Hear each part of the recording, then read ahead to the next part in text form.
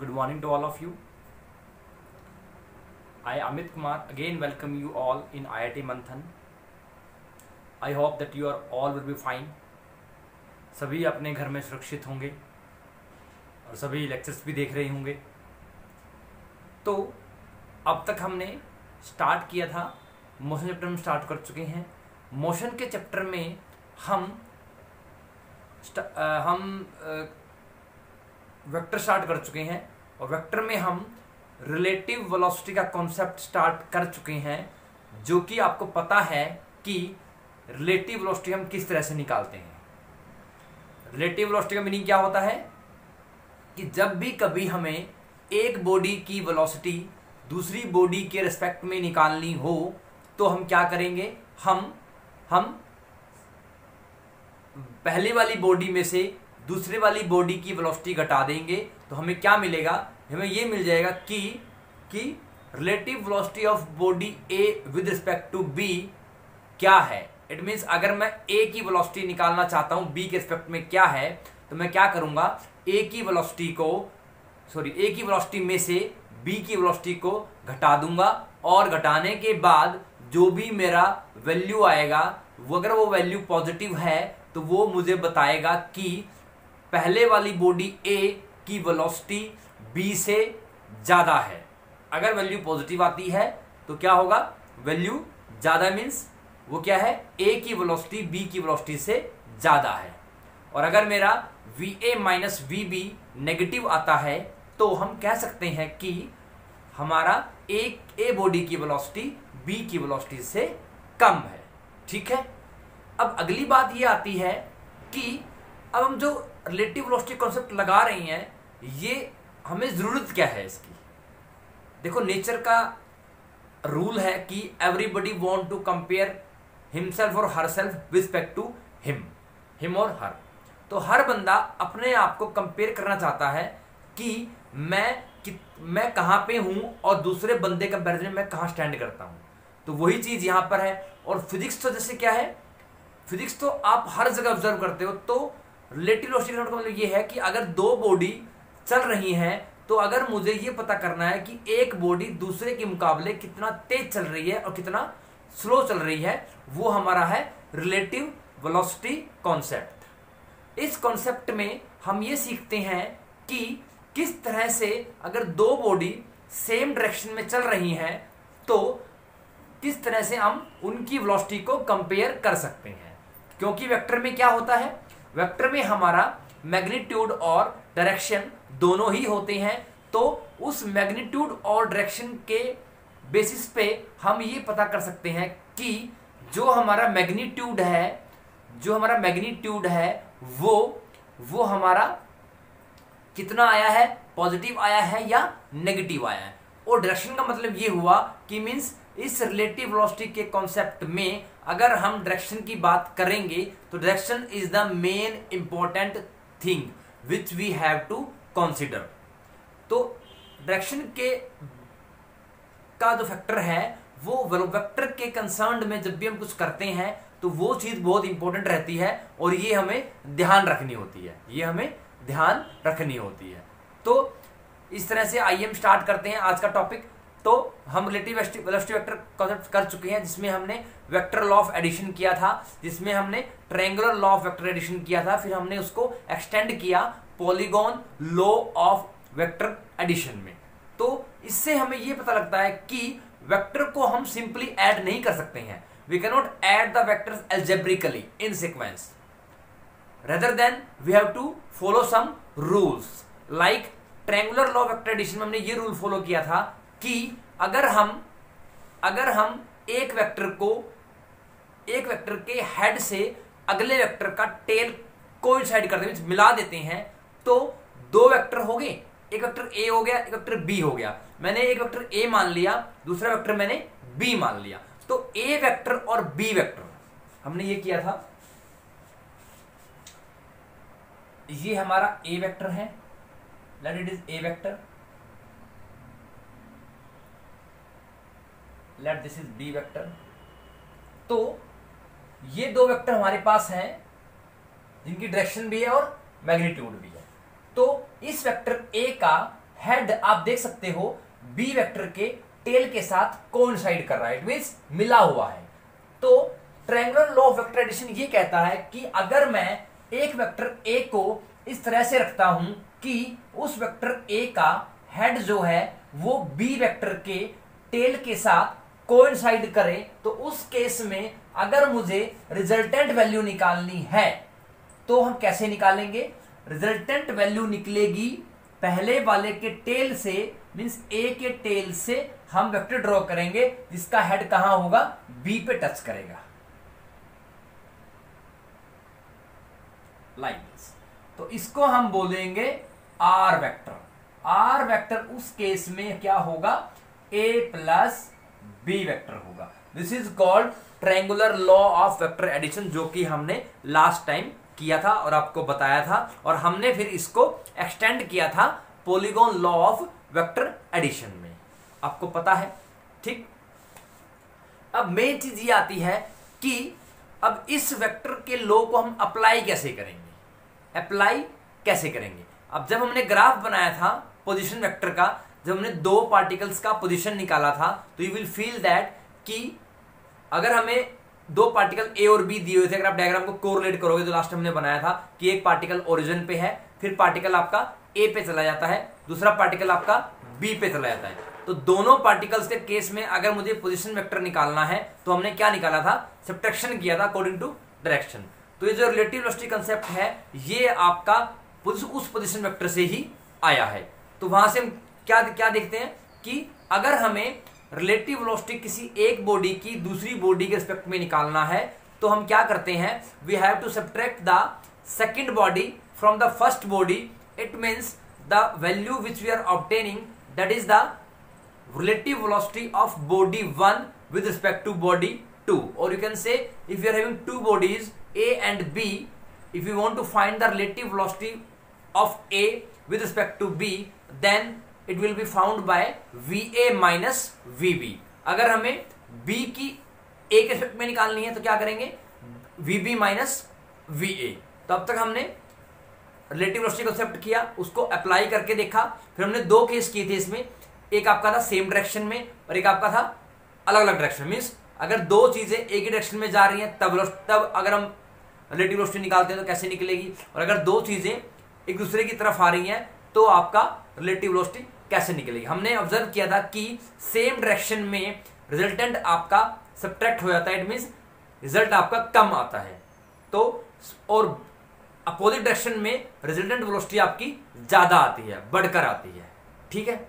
उसके बाद फिर हमने कुछ न्यूमेरिकल्स किए थे, जो हमने इक्वेशंस के बेसिस पे किए थे। एक आधा हमने दो, कल लास्ट लेक्चर में हमने दो तीन क्वेश्चन किए थे तो आज उन्हीं को हम कंटिन्यू करेंगे, जिससे कि हमें और प्रैक्टिस हो सके तो क्वेश्चन है।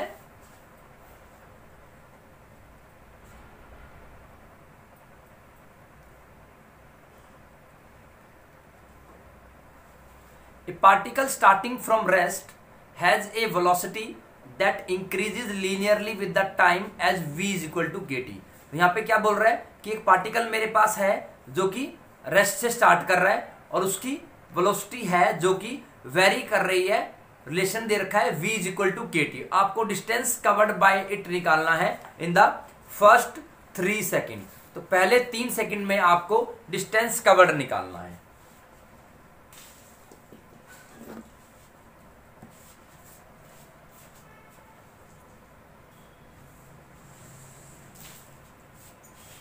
तो क्वेश्चन क्या है? क्वेश्चन हमें दिया हुआ है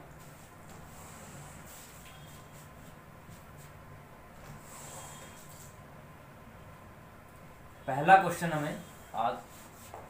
तो आपको एक इक्वेशन दी हुई है, जिसमें वेलोसिटी लीनियरली वेरी कर रही है, v is equal to K T से।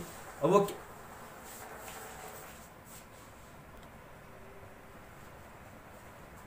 so v is equal to K T हमारे पास इक्वेशन दी हुई है, और हमें निकालना है कि पहले तीन सेकंड में कितना डिस्टेंस इसने कवर किया। तो एक पार्टिकल है जो कि रेस्ट स्टार्ट कर रहा है और उसकी वेलोसिटी लीनियरली इंक्रीज कर रही है और उसकी वेलोसिटी जो इंक्रीज कर रही है, उसका रिलेशन हमें दिया हुआ है कि क्या?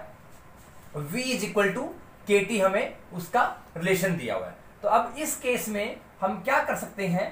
तो हमें निकालना है डिस्टेंस हमें निकालना है डिस्टेंस तो जैसा कि हम जानते हैं कि डिस्टेंस जो होता है, डिस्टेंस जो होता है, वो स्पीड मल्टीप्लाइड बाय टाइम होता है। इसका मतलब क्या हुआ? V इंटू टी अगर यूज़ करेंगे तो हम डिस्टेंस निकाल लेंगे। तो लेकिन अब यहाँ पे v is equal to K T है तो हम डायरेक्टली नहीं निकाल सकते। अब क्योंकि हमें पता है कि v हमारा होता है D X by D T अगर मान लो x मेरा क्या है? x मेरा डिस्टेंस है मान लो तो ये क्या है आपका? D X by D T है। और मुझे क्या निकालना है? x निकालना है। तो तुम क्या लिखूँगा? इसको लिखूँगा D X is equal to V into D T इसका मतलब ये हुआ कि दी गई क्वांटिटी को यूज़ करके मैं किस तरह से डिस्टेंस निकाल सकता हूँ? पहले मैं वो देखूँगा। अब मुझे यहाँ पर क्या दिया हुआ है? मुझे यहाँ पर वेलोसिटी दी हुई है और इस वेलोसिटी को अगर मैं इंटीग्रेट करता हूँ इंटीग्रेट का मतलब क्या हुआ? V डॉट टी ये क्या होता है? dx होता है, क्योंकि v क्या है हमारे पास? V हमारे पास होता है dx बाई डी वी क्या है? V हमारा होता है x बाई टी एक्स क्या है? डिस्टेंस है और टी क्या है? टाइम है। तो डिस्टेंस डिवाइड बाई टाइम ये हमारा स्पीड होता है। तो स्पीड इनटू टाइम क्या हुआ? Distance means dx is equal to V D T हो गया। इसका मतलब मैं दी गई क्वांटिटी को यूज़ करके किस तरह से डिस्टेंस निकाल सकता हूँ, वो पहले मुझे देखना पड़ेगा। तो मैंने यहाँ ऑब्ज़र्व किया कि अगर मैं यहाँ पर डिस्टेंस निकालना चाहता हूँ तो मेरे पास v की वैल्यू दी हुई है, क्या है? K into T into D T और यहाँ पर dx है। Dx को मैं लिख दूँगा वन इंटू डी ठीक? के यहाँ पर कांस्टेंट है। टी डॉट डी टी तो वन को मैं लिख सकता हूँ क्या? एक्स की पावर ज़ीरो डी एक्स और मुझे जनरल फॉर्मूला पता है कि अगर मैं x की एन डी एक्स का इंटीग्रेशन निकालता हूँ तो क्या होता है? x की पावर जो दी हुई पावर है, उसमें एक ऐड हो जाएगा और वो जो पावर एक बढ़कर आई है, वो डिवाइड में आ जाएगी। ये मेरा जनरल फॉर्मूला होता है। अगर मुझे x की पावर n dx का इंटीग्रेशन निकालना है तो it will be written as x की power n plus one divide by n plus one तो यहाँ पर मैंने वन को क्या लिखा? एक्स की ज़ीरो क्योंकि फ़ंक्शन किसमें है? एक्स में है। तो क्या बनेगा यहाँ पर? एक्स की zero plus one by zero plus one ठीक? के कांस्टेंट है। टी का क्या बनेगा? टी की one plus one divide by one plus one ठीक? तो इसको हम लिखेंगे एक्स की power one divide by one K T square by two X is equal to K T square by two ये मेरा आ गया डिस्टेंस ये मेरा क्या आ गया? तो ये मेरा v is equal to K T से जब मैंने डिस्टेंस निकाला तो मेरा क्या आ गया? डिस्टेंस आ गया k into T square by two अब मुझे टाइम दिया हुआ है कि मुझे डिस्टेंस निकालना है in the first three second distance in first three second तो मुझे डिस्टेंस निकालना है पहले तीन सेकेंड्स में। तो मैं क्या करूँगा? पहले तीन सेकेंड मीन्स अब मेरा ये इक्वेशन आ गई डिस्टेंस की जो कि v is equal to K T से निकाला मैंने इस रिलेशन से, क्योंकि v मेरा क्या होता है? D X by D T अब इस इक्वेशन में अगर मैं t की वैल्यू पुट कर देता हूँ three three square by two तो it will x is equal to nine K by two X क्या है? नो के बटे में दो। तो एक्स क्या आ गया? The distance will be nine K by two तो आपको v is equal to K T दिया हुआ था, जो कि वेलोसिटी जिसमें टाइम के साथ लीनियरली इंक्रीज कर रही है, और ऐसे क्वेश्चन में मुझे निकालना है डिस्टेंस तो पहले चेक कर लीजिए कि इस क्वेश्चन में गिवन क्वांटिटी को किस तरह से यूज़ करके आप डिस्टेंस निकाल सकते हो। अब मुझे पता है कि वेलोसिटी इनटू टाइम क्या होता है? डिस्टेंस होता है। मींस स्पीड इनटू टाइम क्या होता है? डिस्टेंस होता है। ये आपने सभी ने पढ़ा है। तो इट मींस अगर मैं, अब मुझे पता है कि v को मैं डी एक्स टी लिख सकता हूँ कि जहाँ पर x क्या है? डिस्टेंस है। अब x मेरा डिस्टेंस है, ये टाइम है तो ये आपकी वेलोसिटी आ गई। इट मींस अगर मैं इसको मल्टीप्लाई करके लिखना चाहता हूँ तो मैं इसको लिख सकता हूँ D X is equal to V D T और इंटीग्रेशन दोनों तरफ़ मैंने साइन लगा दिया इंटीग्रेशन का। तो डी एक्स को मैं लिखूँगा एक्स की टर्म में, ताकि मैं इस फॉर्मूले को यूज़ कर पाऊँ। अब मुझे पता है कि x की पावर n dx इंटीग्रेशन का फॉर्मूला होता है। x की power n plus one divide by n plus one ठीक है? अब one dot D X is equal to K dot T dot D T K T dot D T तो इसका मतलब ये हुआ कि अगर मैं वन को एक्स की टर्म्स में लिखूं, तभी मैं ये फॉर्मूला लगा पाऊँगा। तो क्या करेंगे? एक्स की पावर ज़ीरो है यहाँ पर। फॉर्मूला क्या बनेगा? एक्स की जो पावर दी हुई है, उसमें वन वैल्यू ऐड हो जाएगी। डिवाइड बाई वही जो इंक्रीज पावर है, वो नीचे डिवाइड में आ जाएगी। एक्स की power one by one is equal to K T की power one plus one divide by one plus one this will be the solution of these two quantities on both sides T कितना आ गया? T की power one power है. One plus one divide by one plus one so it will give you X T one by one is equal to K T square by two तो हमारा x क्या आ गया? X is equal to K multiplied by T square by two तो x क्या आ गया? K multiply by T square by two और मुझे निकालना है distance covered by the particle in the first three seconds हमें पहले तीन सेकंड में क्या निकालना है? डिस्टेंस निकालना है। वो क्या होगा? मैं सिर्फ़ टी की वैल्यू पुट कर दूँगा, जो कि थ्री सेकंड दी हुई है। टी की वैल्यू थ्री पुट किया थ्री स्क्वेयर बाई टू तो K is a constant nine K by two mean distance is nine by two times of K आ जाएगा। तो यहाँ पर क्या आया distance covered nine K by two clear है? तो इंटीग्रेशन और differentiation is the important tool or you can say it is very important tool as far as concerned to physics and mathematics. So mathematics की बात तो तब होती है जब हम हायर मैथमेटिक्स की करते हैं। लेकिन फिजिक्स में इसका हर जगह हम यूज़ करते हैं मैथमेटिकली क्लियर है? तो इन चीज़ों को दिमाग में बैठा लो कि अगर मुझे वेलोसिटी निकालना है velocity can be written as D X by D T where X is the distance similarly acceleration निकालना है तो a is equal to D V by D T where v is the velocity of the body clear है? Next question देख लेते हैं.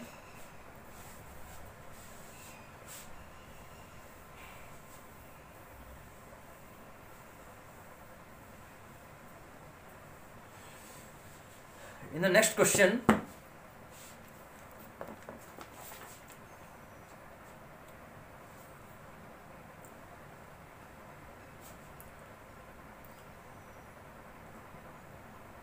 stone falls freely from rest एक stone falls freely from rest इसका meaning ये हुआ कि अगर कोई पत्थर ऊपर से फ्रीली फॉलिंग गिर रहा है सो फ्रीली फॉलिंग बॉडी मैंने आपको बताया था freely falling freely falling body के लिए यू क्या होता है?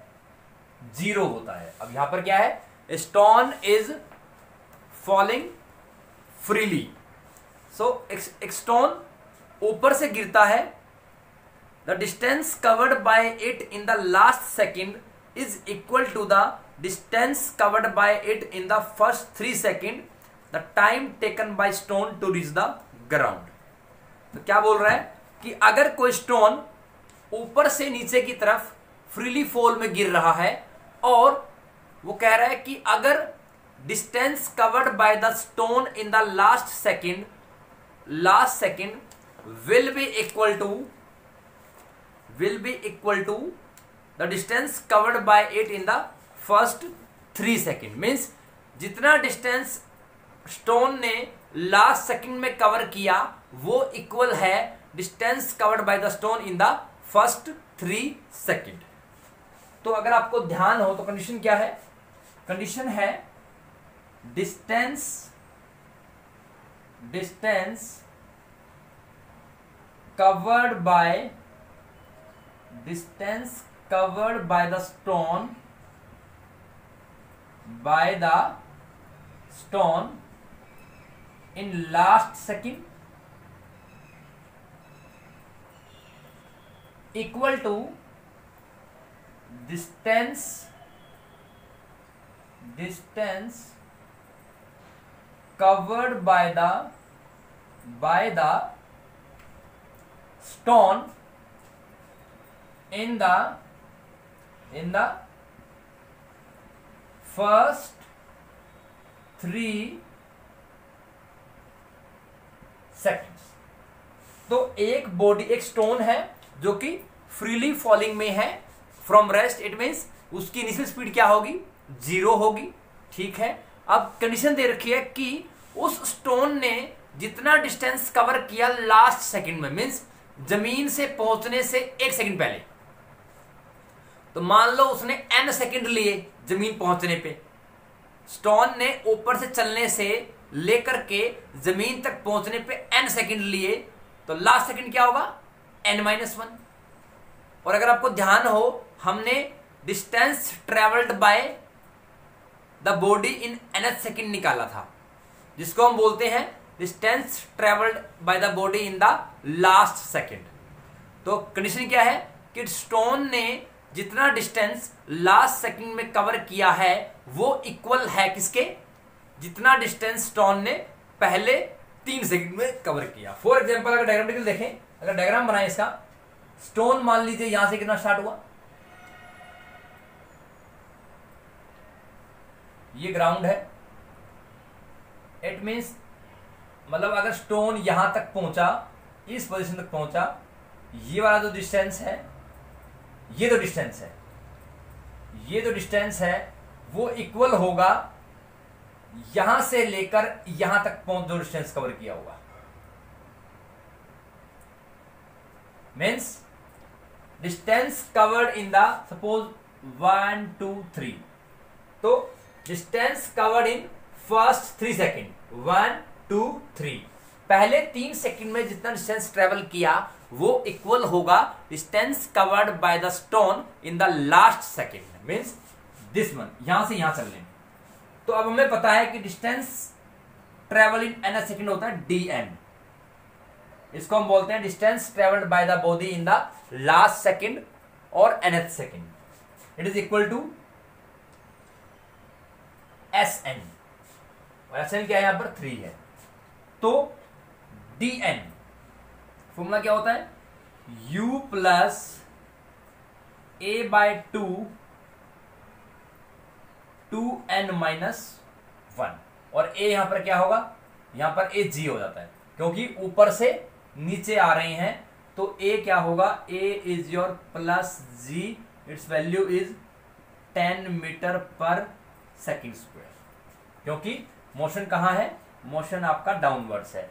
और डाउनवर्ड मगर मोशन होता है तो इसका मतलब ये है कि आपका जो एक्सेशन ड्यू टू ग्रेविटी है, वो जो बॉडी है, वो अर्थ की तरफ़ जा रही है। इट मीन उसी डायरेक्शन में है जिस तरफ़ आपका acceleration due to gravity act करता है।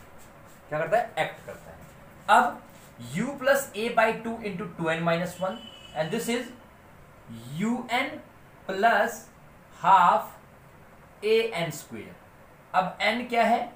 n is equal to three only for this case तो u, देखो, ऊपर से गिरिए तो u तो ज़ीरो हो जाएगा, ये ज़ीरो हो गया।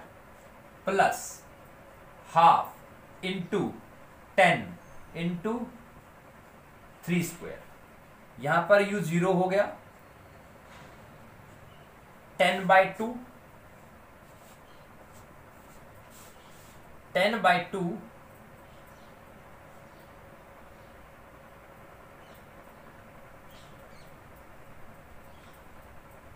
two n minus one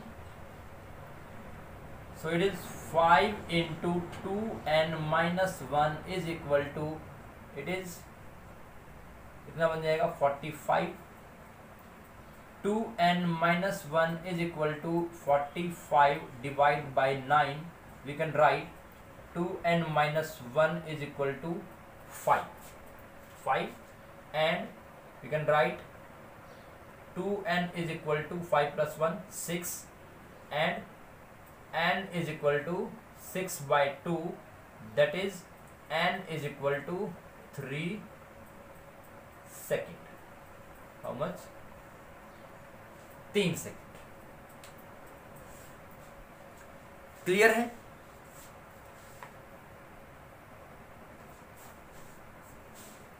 ठीक है? तो n क्या आ गया यहाँ पर? तीन सेकंड आ गया। तो क्वेश्चन क्या था? कि अगर distance covered by the stone in last second will be equal to distance covered in the first three second then find the time taken तो एन मेरा क्या आ गया? थ्री सेकंड आ गया। क्या आ गया? थ्री सेकंड आ गया। ठीक है? क्लियर है? तो वैसे भी ओरली दिख रहा है तो उसने बोल दिया है कि ये जो डिस्टेंस कवर किया, वो इसके इक्वल है। इसका मतलब दोनों में टाइम क्या होंगे? तीन सेकंड होंगे। तो ये मैंने प्रूव भी कर दिया है। क्या कर दिया? प्रूव तो इससे ये पता लग गया कि ये जो मैंने फॉर्मूला यूज़ किया, ये वाकई ही लास्ट सेकंड के लिए है। तो यहाँ से अगर एन की वैल्यू क्या आई? थ्री सेकंड इट मीन यहाँ भी थ्री सेकंड तो कंफर्म हो गया यहाँ पर कि जो मेरी एन की वैल्यू है थ्री सेकंड आने से कि मेरा फॉर्मूले जो मेरे यूज़ है, वो बिल्कुल एग्जैक्ट और करेक्ट है। ठीक है?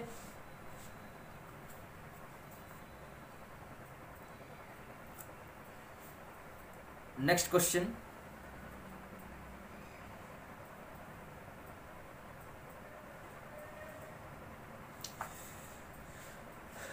तो अगर इसी क्वेश्चन में थोड़ा इसको मॉडिफाई करें तो क्या होगा?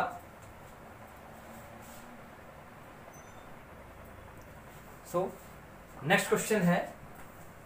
इन द नेक्स्ट क्वेश्चन तो ये अभी जो लास्ट क्वेश्चन किया था, ये हमने किया था वर्टिकल मोशन का। तो नेक्स्ट क्वेश्चन में a stone drop from the top of a tower travels a distance of 25 metre in the last second of its journey find the height of tower तो एक स्टोन सपोज़ कीजिए यहाँ से गिरना start करता है। ठीक? तो लास्ट सेकंड का बोल रहा है।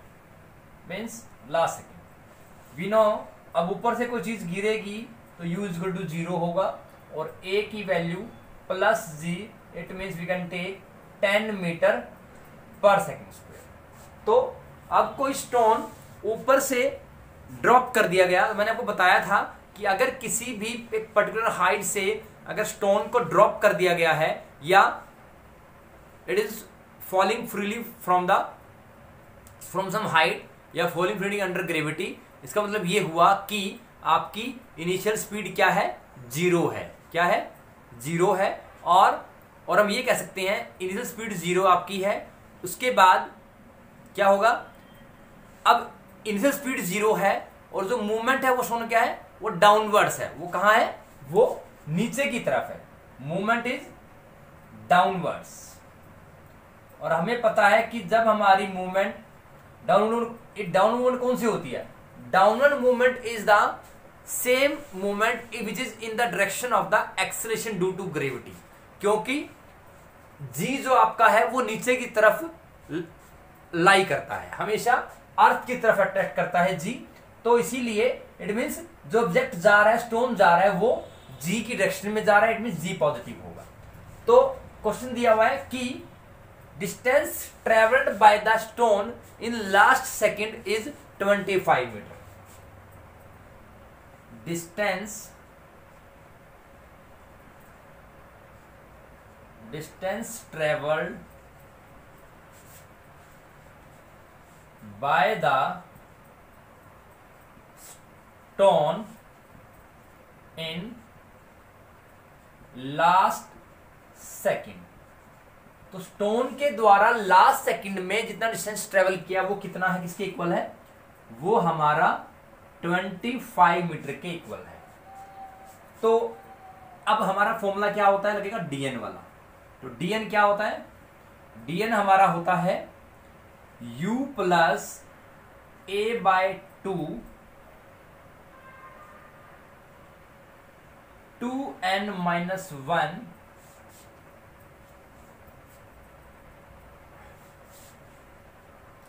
is equal to how much?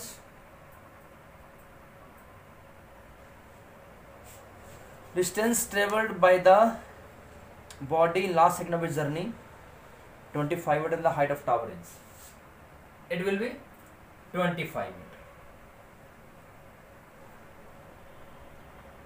अब पहली बात तो इस क्वेश्चन में मेरे पास क्या नहीं है?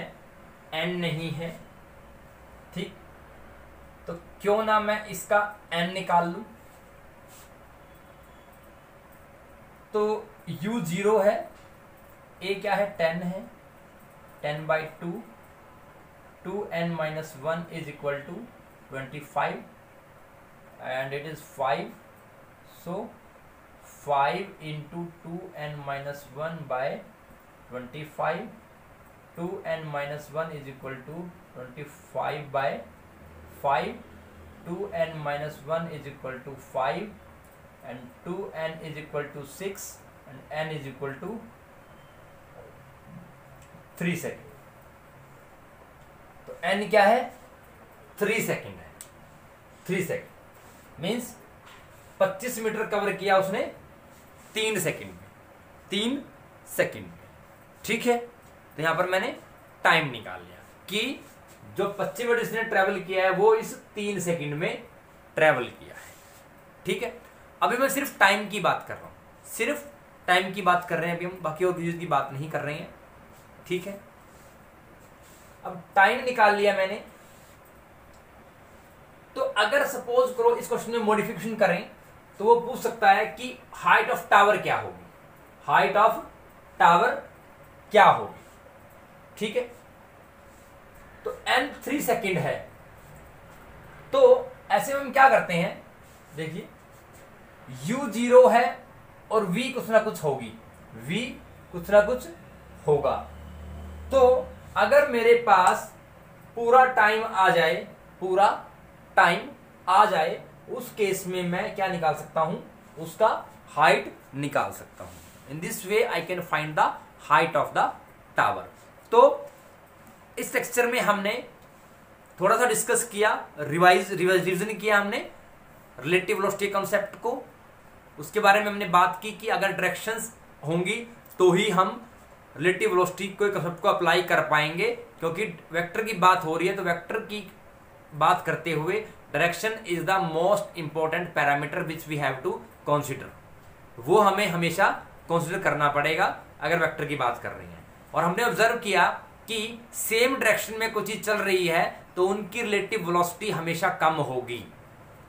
अगर दोनों बॉडीज एक दूसरे की तरफ़ आ रहे हैं, उस केस में उनकी रिलेटिव वेलोसिटी का रिजल्टेंट जो होगा, वो ज़्यादा होगा।